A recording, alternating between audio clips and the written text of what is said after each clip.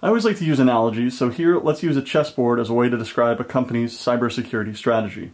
Now the security team has already made strategic investments like AV, mobile device management, patch management, vulnerability assessment, and EDR or EPP.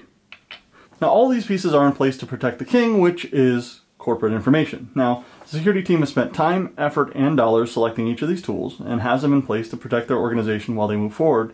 Like chess, you don't just place the pieces and stop, you have to keep moving forward. So despite focusing efforts on being secure, the organization has to let employees do their job and some of the things they do are inherently risky. Now imagine that this chessboard is one user and one device. So in a company with 50,000 employees, there are 50,000 simultaneous chess games happening at any given time. There's really no way to see every one of them at once, and since the games are constantly going on, each board is in a different status. Now, you could send an alert every time an opponent makes a move, but very quickly that starts becoming noise, and it takes a lot of effort just to figure out which moves actually require attention.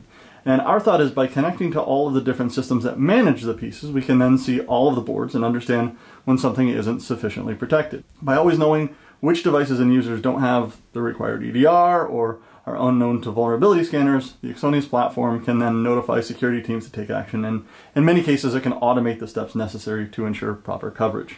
With a comprehensive view of all users, devices, and security solutions, Axonius lets security teams know when things aren't the way they want them, and it does it on an ongoing basis.